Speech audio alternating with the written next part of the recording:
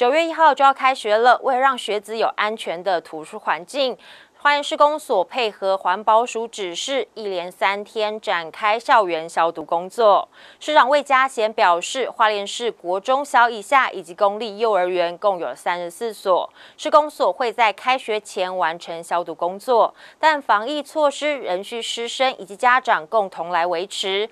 唯有从自身做好卫教管理，才能杜绝感染源。花莲市公所接获环保署的指示，要在开学日前完成校园的消毒工作，因此清洁队特别调派人力，分三组，有九名的清洁队员在执行这项任务，要在开学之前完成清消工作。那我们这次清消的部分哈，也是针对疫情之后，那学校停学，然后开学之后的一个范围哈。那我们国中小以下还有公立幼儿园的部分，我们来做相关的环境清消。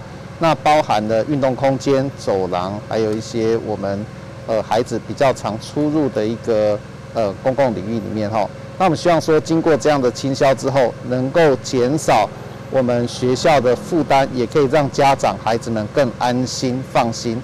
那我们也希望说，疫情赶快退散，能够让所有的人赶快的恢复到正常的轨道。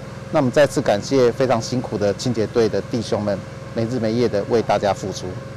除了环境消毒，学校部分也遵照教育部的指示，做好了各项防疫准备。我们所有的班级都订了隔板，而且我们是订那个两用的，不会浪费，到时候可以垫在桌上当材质板。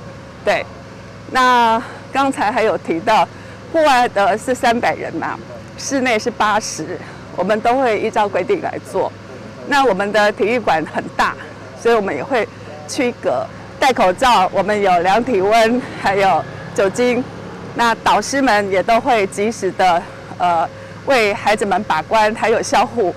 我们所有的同仁都打过疫苗了。那只要进入校园的相关的教育人员，我们也都是列册。所以这一块，请家长放心，我们一定会把防疫工作做好。